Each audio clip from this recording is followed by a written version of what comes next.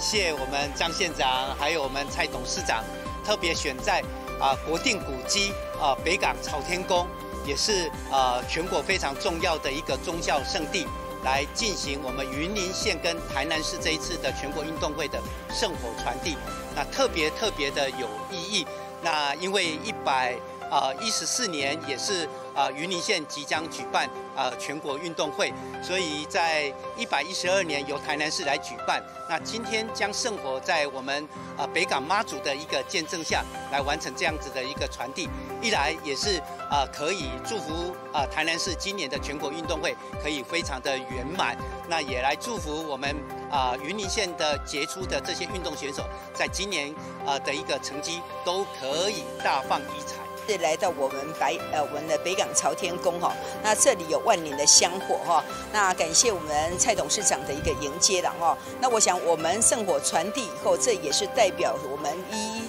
二年的这个全国运动会哦，最重要的一个精神指标，那这也代表着我们所有的啊在运动会当中的一个荣耀哈。那我想在这里啊，除了啊欢迎圣火传递，那我们顺利接了圣火以后呢哈，那我们也希望啊一二年的全国运动会，云林县所有的选手都能够有好的成绩展现哦。那不只是呢，我们也会啊组成一个观摩团哦，到一二年的这个台南市啊这全国运动会的主办啊单位哦来。参观呐，甚至来观摩哈学习。那未来我们在一四年的全国运动会，我们也希望能够啊借由他们的成功模式啊啊能够啊复制在云林县。